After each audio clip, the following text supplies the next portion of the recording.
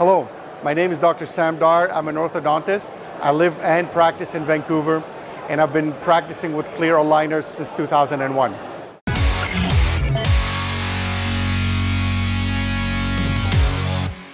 So with adults, um, with the baby boomers especially that started 10, 15 years ago, um, the ones that have sort of missed the bus and didn't wear braces, or the ones that wore braces and, and there was a bit of relapse, those guys did not want braces.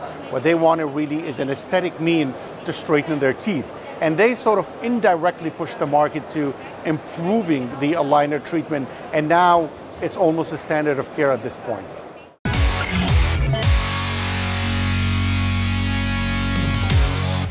ClearCorrect is a member of the Straumann family now. And the, what, the, what the Straumann companies do collectively is they cater to patient care and to the general dentist. So instead of a ClearCorrect standing alone as an aligner company, it's becoming member of the family. In other words, you're going to have a comprehensive treatment. So we're talking about orthodontics, we're talking about straightening the teeth, but we're talking about restoring the occlusion, missing teeth, what have you, implants, so on and so forth. So it being a member of the family will facilitate the treatment planning and it will make the patient's outcome a lot better and a lot more predictable as well.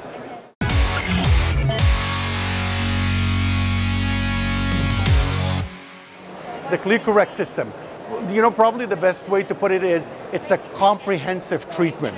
Uh, it's a comprehensive alignment that fits well within uh, the oral cavity treatment, I guess, if you want to call it that.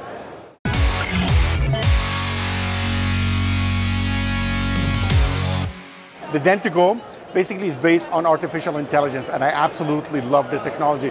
It's a smart technology, and what it does is it does a lot more than facilitate our life. It actually helps us um, bring it all together, so to speak. So what we're doing is we're allowing the patient, we're monitoring the patient at a distance, which is amazing. But the other thing it does is it captures um, any sort of, let's call it deficiency. Uh, if there's recession, um, if there's any um, anything that is unhealthy within the oral cavity, you catch that early on, you fit it into the treatment plan, and ultimately we can monitor the patient at a distance. So the patient is always under our care. So it's not if they missed an appointment, they're gone, not anymore. No matter where they are in the world, it doesn't interfere with their social life, with their professional life anymore. We can monitor them anywhere they are. And that is amazing, and that's good for the doctor, and it's good for the patient.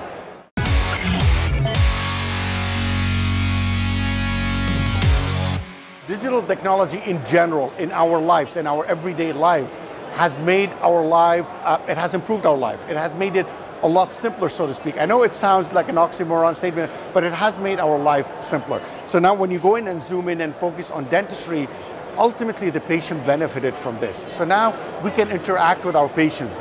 Doctors from different specialties can interact with each other as well. So digital technology or digital dentistry um, has made treatment planning more efficient.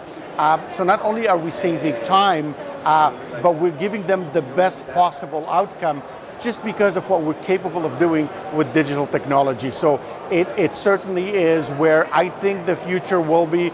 We, we live in a digital world right now, and it's going to be more so, it's going to be a lot more efficient in the future.